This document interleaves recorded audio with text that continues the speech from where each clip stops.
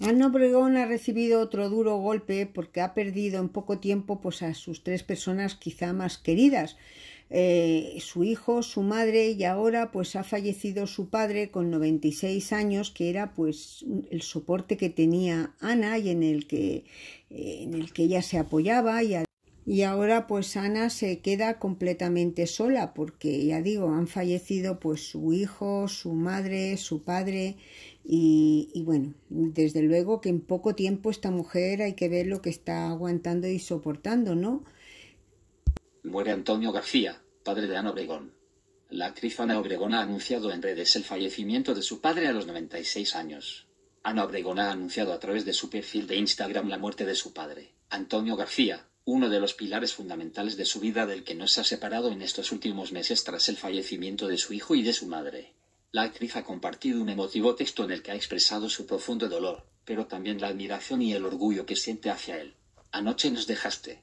Fue como un rugido que surcó el cielo para rente con mamá, el amor de tu vida y con mi hijo, tu nieto preferido, comenzaba diciendo la actriz, rota de dolor, al tener que enfrentarse de nuevo a una de las pérdidas más dolorosas de su vida.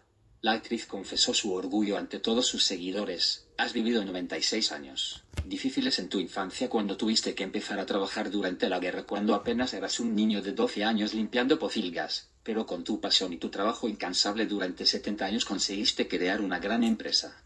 Por eso recibiste una merecida medalla al mérito del trabajo.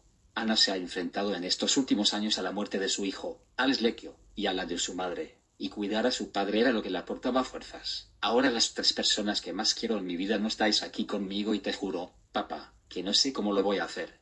Este verano, pudimos ver muchas imágenes de ambos en Marbella, disfrutando como hace años, momentos que se quedan grabados en su mente. He coleccionado millones de momentos únicos contigo que guardo tatuados en mi corazón, y que ahora utilizaré para poder seguir respirando. Una dura noticia que la presentadora de televisión ha querido compartir con todos sus seguidores y desahogarse, tal y como ha hecho durante todos estos meses en los que expresaba el dolor por sus redes sociales. Desde aquí también le damos nuestro pésamo y que fuerza para que pueda salir adelante, porque no sé si esta mujer de verdad ahora pues acabará hundiéndose. Pero bueno, es fuerte eh, Ana y yo creo que saldrá también. ¿Qué pensáis? Comentar, dejar vuestros comentarios, dar muchos me gustas y suscribiros al canal. Hasta pronto.